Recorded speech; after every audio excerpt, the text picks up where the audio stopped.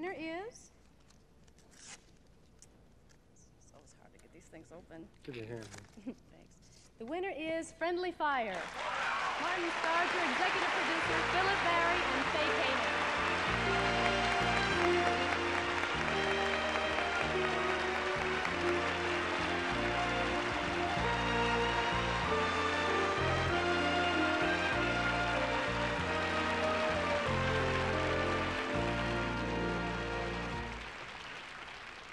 There are quite a few people to thank, but it's getting late and it's warm, and I'll make it as brief as possible.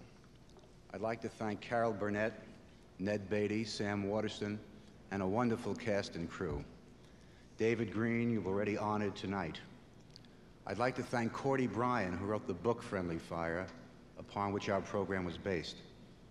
I'd like to thank Phil Barry, our producer, and Fay Kanin, who not only co-produced the program, but wrote an outstanding and beautiful script, and I want to thank her for that.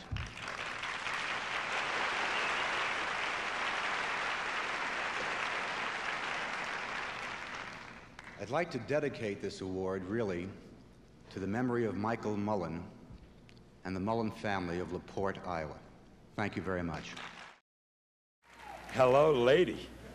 Uh, thank you, big guy. I gotta be quick. My thanks and my gratitude to Hugh Wilson for creating Al Floss, the most fun character I ever played. Uh, to the writers.